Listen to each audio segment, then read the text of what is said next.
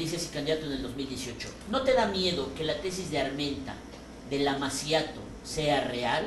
Es decir, que ha habido un pacto eh, para Ajá, entre el PRI. regalarle eh, el poder a los morenovallistas aquí en Puebla. Suena como una trama así. Pues suena de una la trama, pero a veces parece que sí es real. Así es la política. A ver. Por eso es la tesis de Armenta. Pero eh, muchos que participamos en política no hay ni ingenuidad ni nuevos en, en este, en este escenario. Yo creo que el riesgo de quien lo quiera hacer, de una concertación o de un acuerdo por debajo de la mesa, pone en riesgo la elección presidencial. Si lo hubo en el pasado, no lo sé que lo demuestren. Pero en esta elección donde se juega un proyecto, por supuesto, de país, la presidencia de la República, una gubernatura que va a durar seis años. El actual gobernador está por un año Ocho meses. Creo que 10 le meses y, le No, queda- se le va. y se le va acabando el tiempo. Y seis años es un tiempo corto y largo. Corto para hacer cosas importantes y largo para dañar al Estado. O sea, es decir, y ya lo hemos visto en el pasado, sexenios ser, que han pero dañado en este el momento, pasado. en 2018, No lo sé, no, tampoco he dicho y no pongas palabras No, digo, que no he dicho. pues, Yo no ser. digo, pues que lo demuestren quien lo, quien lo señala. Pero para el 2018, yo creo que hay muchos poblanos y militantes de partidos políticos en uno y otro lado que no estarían de acuerdo en, a- en que existieran cochupos o acuerdos debajo de la mesa. Y para eso pues, hay elecciones abiertas y libres. ¿Tú estarías de acuerdo con esos cochupos, acuerdos abajo de la mesa? Yo estoy de acuerdo en la competencia abierta en las urnas y con proyectos que la ciudadanía sancione y valore y que Pues, se revisen las trayectorias. No, bueno, pero si fueras tú el candidato al final que te elija tu partido, como sea el Ah, Vamos proceso, a hacer una campaña intensa con todo y para y ganar. si vas a hacer, con- y sí vas a hacer contraste contra el esto. morenovallismo. Las campañas, por definición, en la época moderna son contraste. Tienen que ser contraste. O sea, no, no le vas a decir como las tiri de bueno, pero es que mire usted, o como Blanca Alcalá, o Diría como- un clásico del PRI, no le haría al tipitoche. Oye, Tenemos que por hacer cierto, una también en preguntan en, serio. la transmisión, ¿qué pasó con lo de la licitación esa que te están acusando que no sé qué, Baxter, otra empresa, ta, ta, ta, ta, ta? Pues sí, simplemente es un conflicto entre empresas que, como en todos los procesos de licitación en los gobiernos, tienen intereses. Tanto Baxter y Pisa, para los que no lo saben, dan servicio de diálisis para los insuficientes renales en todo el país. Una es transnacional, otra es una empresa mexicana con presencia en México y Centroamérica, ambas son importantes. Y la empresa que pierde se inconforma, pero fíjate Arturo, tú que eres abogado, alguna vez lo fuiste, antes de que te corrieran de los troles. ya, se olvidó todo. En este proceso, la empresa afectada, Baxter, interpuso un recurso de suspensión ante un tribunal federal que se lo concedió. Por lo tanto, las cosas quedan como estaban. Hasta el momento entonces Hasta el no se mueve momento. nada. Es una suspensión provisional a reserva que en el futuro el juez dicte la resolución definitiva. Por lo tanto, no está echada abajo la licitación, la empresa Baxter sigue dando el servicio y el litigio, como es en asuntos legales, seguirá. Por supuesto, no hubo favoritismo, ha habido toda una manipulación y yo sé de parte de quién viene, no lo voy a decir ahora. No. De Para, vez. sí, de una vez no, para el No, Aquí nadie nos ve. No, No. aquí nadie nos Nadie se entera. nadie se entera.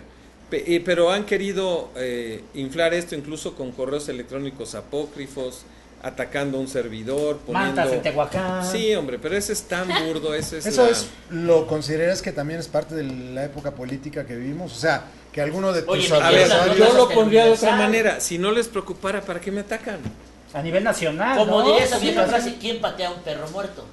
O te diría, como las, vie- las novelas de misterio, ¿quién se beneficia con el asesinato? Claro, así lo decía Tan Sherlock sencillo. Holmes. Oye, ¿por qué no Ya fuiste al que- evento de las Tiri si era en domingo? ¿Perdón? ¿Qué? Al evento de las Tiri no fuiste, podías ir Porque en el no fue ni él ni nadie. ¿Por qué no, No, fuiste? bueno, fueron bastantes... invitaron? Sí, claro, fui ¿Y por qué no invitado. fuiste? Por razones políticas. No voy a ir a un evento de precampaña. ¿Por qué era respaldarlo?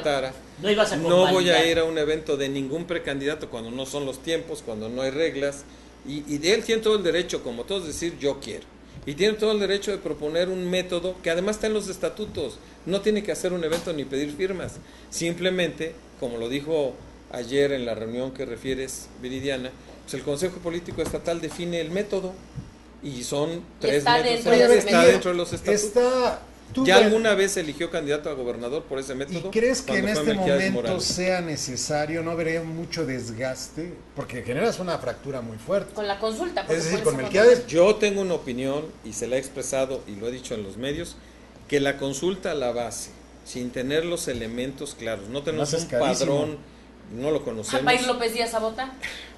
eh, Canales. dividiría a un partido que llegaría debilitado a la selección. Y también lo digo abiertamente, es la única cosa política que voy a decir, porque ya no estoy en horario laboral.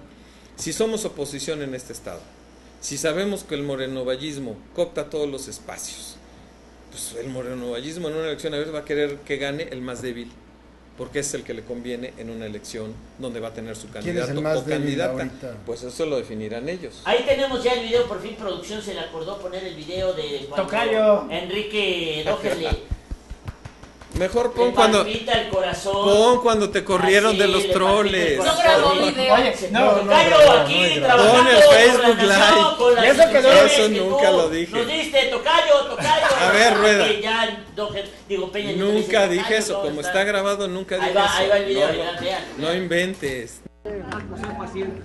Y ahorita que diga lo de colegio Sé que llega muy temprano, pero muchas gracias. Señor delegado, Cayo, ¿cómo estás? Me da mucho gusto Señor presidente. ¿Cómo estás? Bien, señor presidente, a sus órdenes. Buenos días. Gracias por su presencia, por su solidaridad, para que son parte del equipo que está sirviendo a México. A ver, Bien, señor presidente, aquí, señor presidente, trabajando por la nación Oye, y sus Rueda, instituciones pero superiores, hay que presidente, cuidar la chamba. ¿Qué? Tú sí te viste bien arrastrado cuando ¿Cuándo? Porque pues Ah, mira, pero ahí. te voy a decir una cosa. Si no me acuerdo, Yo no pasó. ¿Cómo entendería- no le sacaste video? Yo entendería a Enrique Docker porque Fue- es delegado del IMSS. No si no voy a buscar un video. Debe haber alguna foto Sí y un video hay, porque lo sí vimos. hay, porque acuérdate que y te hay grabaron video a testigos ti. incluso de Entonces debe medios. Oye, Hasta estaba Ay. blanquita. En Facebook estaba Live Está están en mercado, ¿eh? Tú que En respetas. están por ahí diciendo que te acuerdas lo que dijiste del colegio americano, Rueda donde va la hija de. Enrique. A ver, ¿qué dijiste del americano? Ah, Ah, el 90% entonces- de la madriza que armaron en el colegio Que son- no es cierto, no es cierto. el 90% Dijo que son drogadictos. y alcohólicos. Que todos los del americano. Y yo le dije que eso era falso. Dijo, Así dijo. 90%. Yo, Yo nunca gente- diría que los del centro escolar en la generación de rueda fueran eso. Al contrario, él podrá hacerlo, pero el resto no. No, a ver, hay de todo en todos lados, En pero todo. yo conozco gente del americano que han Que es estudiado. decente. Ay, hay Ya gente cuando se enteró que tu hija dijo que el 90% Ah, de no, pues yo lo en que la- Ah, diría. pues ella seguramente está en el Rueda 10% tiene un no. síndrome del locutor despedido de Tropitroles y se quiere desquitar con todo el mundo. Señor presidente, No aquí, somos- señor presidente. Oye, ¿no tendrás un psiquiatra déjame- A ver, déjame decir una cosa. Señor dueño de la Tropical Caliente, no me corra, no, me No, corra.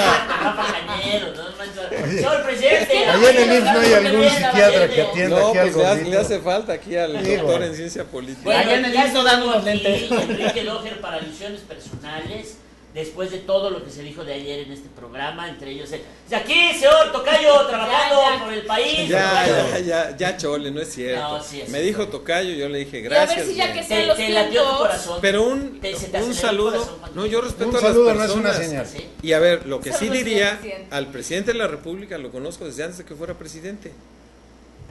Y lo respeto y además se llama Enrique, yo también me llamo Enrique, qué bueno que me diga Tocayo. Y si me dice Enrique, lo respeto. Y soy colaborador.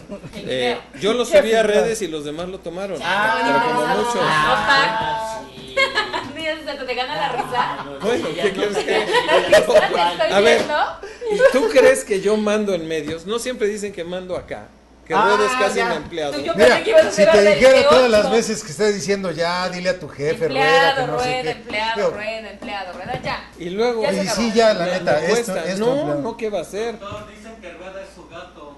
¿A qué A es tu gato? Es el- Ah, sí, ya me acuerdo dije. dije ¿De aquí. Angora o qué? A mí sí me dijo tocayo, gato, empleado, funcionario, Oye, pero- delegado. A ver, a ustedes nadie No, más a los dijo nada. colaboradores hay que respetarlos. Pero no, nunca he tenido oportunidad de colaborar con Rueda ni creo hacerlo. Lo respeto mucho. Sí puedo decir al aire que es mi amigo, a pesar de A todas pesar las A pesar todo. de todo. Sí. A pesar de que se mete Lo, con el lo americano. todo. quieres a pesar de Digamos todo. eso ya tanto como querer, eso ya. Bueno, de amigos. Masoquista, masoquista, no. Lo respeto. Algunas veces sus análisis son certeros. Como cuando recuerdo que decía que Zavala era el invencible y era el único y después cambió de opinión. Como cuando le eh, quemaba incienso a Moreno Valle y después dijo otra cosa. Eso Es es, pluralidad. No, es Eso es atender bipolaridad. a la coyuntura del momento. Esa es bipolaridad. Como bueno. cuando saluda al-